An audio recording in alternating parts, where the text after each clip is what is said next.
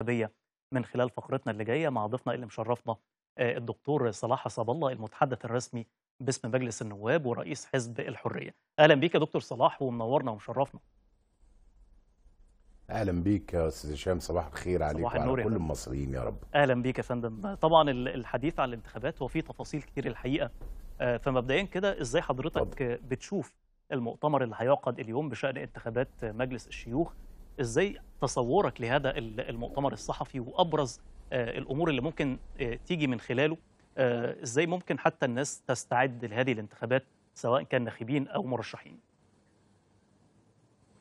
طيب هو خليني أقول لك إن الهيئة الوطنية للانتخابات هي الهيئة المختصة بدعوة الناخبين لانتخاب للمشاركة في أي انتخابات أو استفتاءات. آه، والنهاردة الهيئة تعقد مؤتمرها الصحفي في تمام الثالثة عصرا. وهتعلن فيه آه، حاجتين آه، مواعيد إجراء الانتخابات وطريقة إجراء الانتخابات. ومتوقع طبعا الهيئه تعلن فتح باب الترشح آه، في بداية الأسبوع القادم.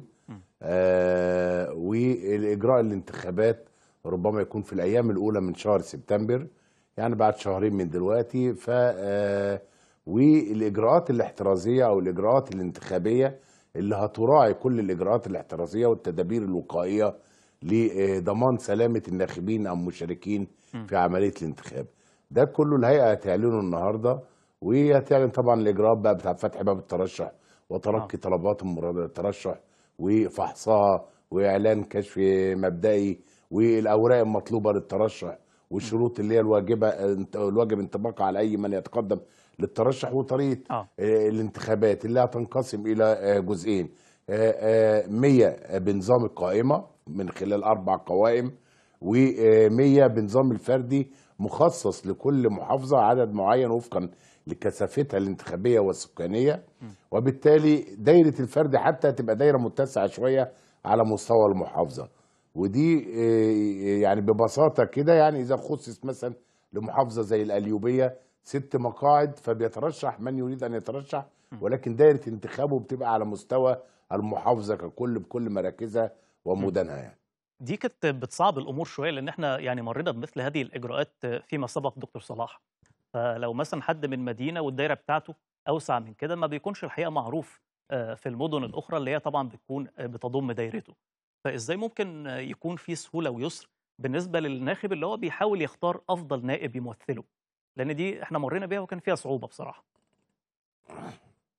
هي طبعا بتبقى صعبة شوية على الناخب إنما بتبقى محتاجة جهد جهد مضاعف من مرشح إن هو يحاول يعرف نفسه يحاول يقدم نفسه لكل المراكز والمدن الموجودة في المحافظة. مم. وعايز أقول لك إن دي بتبقى فيها نوع من أنواع بقى التحالف ما بين مرشح وآخر يعني. آه. يعني يعني من الممكن مثلا مرشح في مدينة يتحالف مع مرشح في مدينة أخرى فيبقى في نوع من أنواع العمل المشترك ما بينهم اللي بيخلي يبقى في حشد مشترك. ده بيحشد أصواته لل- للمتحالف معه من الناحية الأخرى وهكذا برضو العكس بالنسبة للمرشح الآخر. يعني دي ممكن بتستدعي يعني طبيعة انتخابات مجلس الشيوخ بتستدعي حتى بعيدا عن القائمة في انتخابات الفرد يبقى في تحالف ما بين أكثر من مرشح على مستوى دائرة المحافظة. طب هنا يا دكتور صلاح إيه الحكمة من إجراء هذه الانتخابات وفقا لهذه الآلية؟ يعني إيه وجهة نظر الدولة إن هي تطرح الانتخابات بهذا الشكل؟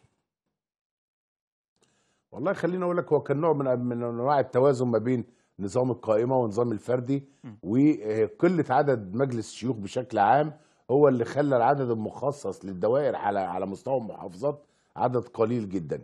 يعني إحنا بنتكلم في إجمالي عدد مجلس الشيوخ 300 والدستور بينص على أن يقوم رئيس الجمهورية بتعيين تلت أعضاء المجلس اللي هم 100 فهنبقى امام 200 عضو منتخب. 100 بنظام القائمه و100 بنظام الفردي.